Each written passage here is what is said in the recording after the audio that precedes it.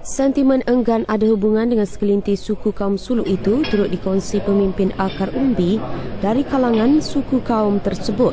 Dalam satu temu buat eksklusif dengan Astro Awani, Datu Nasrun berkata perbuatan sesetengah kaum suluk itu tidak boleh dimaafkan termasuk tindakan kejam mereka membunuh lapan anggota tentera negara.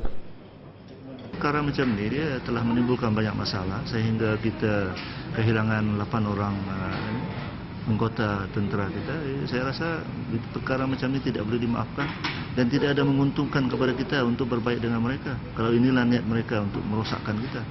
Jadi saya rasa eh, ada baiknya kita putuskan hubungan dengan mereka. Sementara itu, Datu Nasrun percaya orang suluk di Malaysia tidak lagi memberikan sokongan dan pelindungan kepada pihak pengganas yang dikuatiri menyelusup masuk ke dalam kampung-kampung kerana sudah sedar golongan tersebut membahayakan negara ini orang-orang tempatan akan tidak bertulang asal sebab mereka ini adalah penceroboh, pengganas.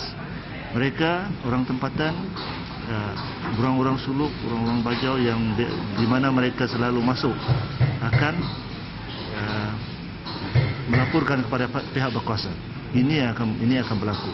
Sebelum ini mereka sudah datang tetapi mungkin sudah beberapa hari atau beberapa minggu tinggal di sini tetapi niat dan tujuan mereka tidak diketahui. Sekarang orang-orang tempatan sudah ketahui apa tujuan mereka untuk datang ini.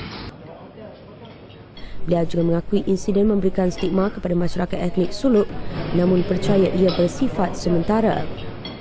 Sementara itu, Datu Nasrun menyambut baik pembentukan kawasan keselamatan khas meliputi wilayah pantai timur Sabah sebagaimana diumumkan Perdana Menteri Datuk Seri Najib Tun Razak. Dalam hal ini, beliau mencadangkan kerajaan mewujudkan lebih banyak kompleks custom, immigration dan quarantine CIQ di sepanjang pantai timur Sabah termasuk di Lahad Datu bagi mengawal kemasukan pendatang Filipina. Ketika ini hanya terdapat tiga CIQ di pantai timur Sabah melibatkan Sempurna, Sandakan dan Tawau. Laporan media Filipina sebelum ini menganggarkan terdapat 800,000 rakyatnya di Sabah.